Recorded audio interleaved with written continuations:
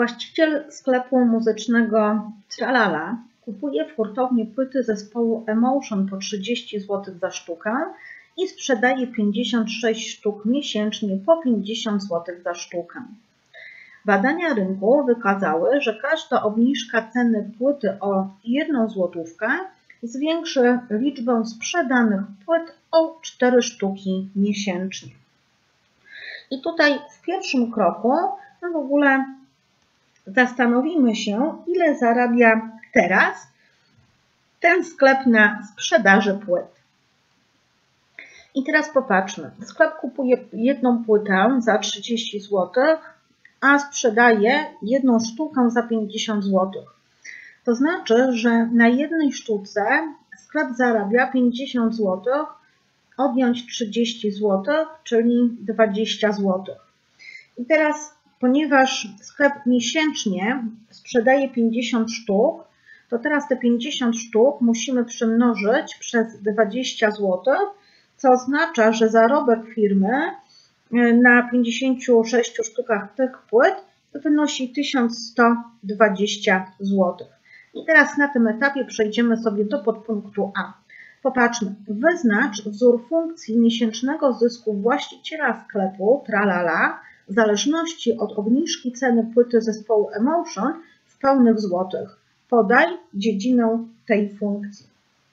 No i teraz tutaj na tym etapie musimy pamiętać o tym, że jeżeli cena zostanie obniżona o n złotych, to zysk ze sprzedaży e, będzie opisany następującym wzorem.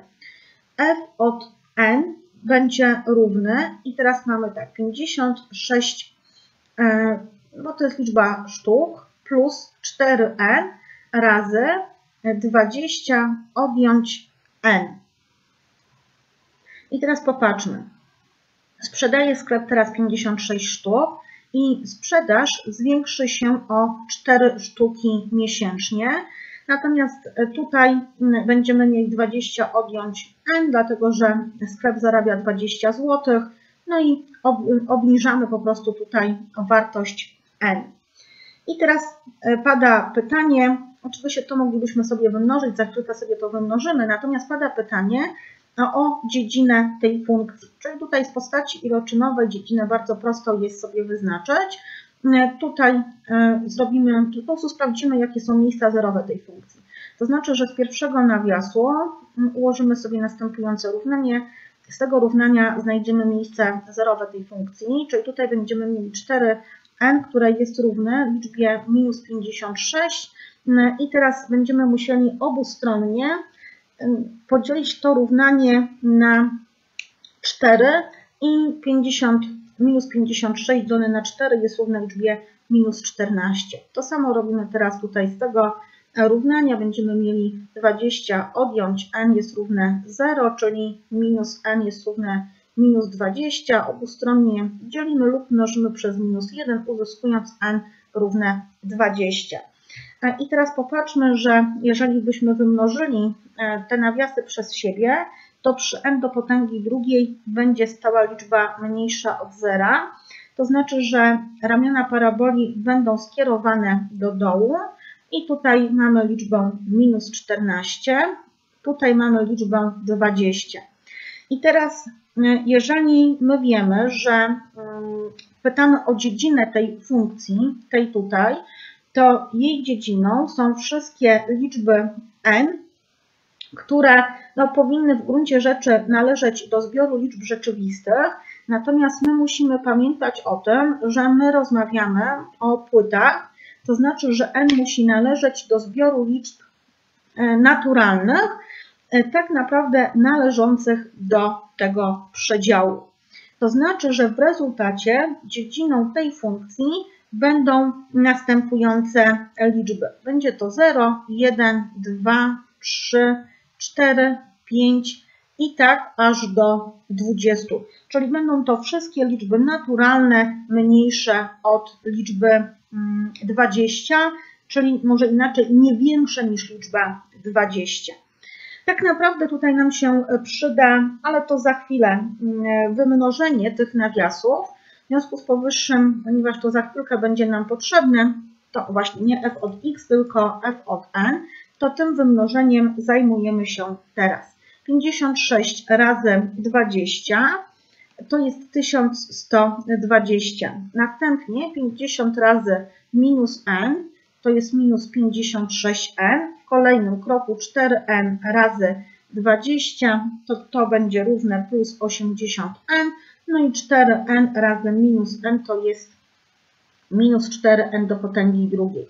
No i teraz w kolejnym kroku ułożymy sobie niewiadome rosnąco, znaczy rosnąco pod kątem wykładnika, czyli będziemy mieli minus 4n do potęgi e, drugiej, dodać 24n i dodać 1120.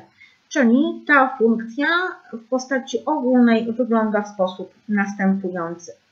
I teraz to nam będzie potrzebne do podpunktu B i przeczytajmy jaka jest treść podpunktu B. Jaką cenę płyty powinien ustalić sprzedawca, aby miesięczny zysk tej sprzedaży był największy, tej sprzedaży tutaj. Oblicz miesięczny największy zysk właściciela sklepu ze sprzedaży płyty Emotion. Pierwszej kolejności skupmy się w ogóle na tym pierwszym zdaniu. Jaką cenę płyty powinien ustalić sprzedawca, aby miesięczny zysk z jej sprzedaży był największy? I teraz popatrzmy, tutaj po tym wykresie widzimy, że ramiona paraboli skierowane są do dołu. To znaczy, tutaj sobie możemy jeszcze e, narysować oś pionową. Z racji tego, że ramiona tej paraboli skierowane są do góry, to znaczy, że istnieje wartość maksymalna, która leży w wierzchołku tej paraboli. Stąd też musimy tutaj skorzystać ze wzoru na x wierzchołkowe. x wierzchołkowe paraboli jest opisane wzorem minus b dzielone na 2a, gdzie liczba b to jest wartość, która stoi przy niewiadomej do potęgi pierwszej. U nas ma ona wartość 24. Stąd też w liczniku będziemy mieli minus 24 dzielone na 2 razy a, gdzie a u nas ma wartość minus 4.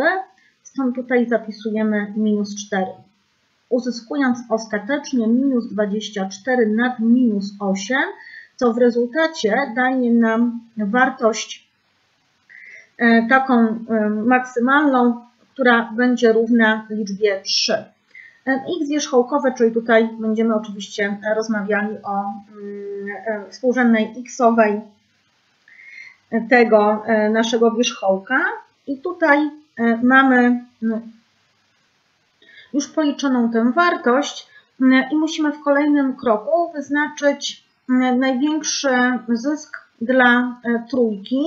To znaczy, że w tym przypadku my musimy policzyć f od 3, e, podstawiając po prostu pod n w tym i w tym miejscu trójkę. Uzyskujemy na tej podstawie minus 4 razy 3 do potęgi drugiej, tutaj ten nawias nie był potrzebny, dodać 24 razy 3 i dodać 1120, to się równa minus 4 razy 9. No i teraz 24 razy 3 jest równe 72, więc tutaj wpisujemy plus 72 i plus 1120 to się równa.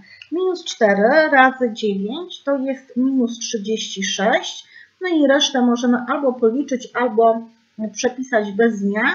Ja przepisałam bez zmian, w związku z powyższym teraz liczę po kolei. Minus 36 plus 72 jest równe liczbie 36 i do tego dokładamy 1120 i 36 plus 1120 jest równe liczbie 1156. I teraz popatrzmy, jaką cenę powinien ustalić sprzedawca. Otóż od liczby 50 zł musimy odjąć 3 zł. To znaczy tutaj sobie zapiszemy 50 zł, odjąć 3 zł. Uzyskujemy dzięki temu 47 zł.